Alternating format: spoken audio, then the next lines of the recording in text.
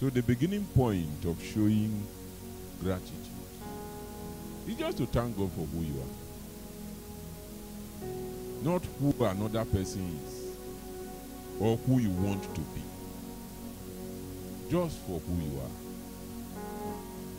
What God has made you. The things that you have. Just to thank God for the things that you have. Gratitude in all our ways.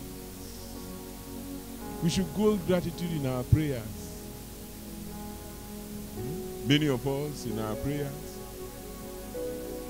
is dominated by two things complaints and uh, request. Complaints and requests. But God requires us to give gratitude. In fact, you know, in those days they used to train us that when you want to pray, you follow four patterns called acts A, C, T, S. A for adoration, then C for confession, and then T for thanksgiving. Are are you see?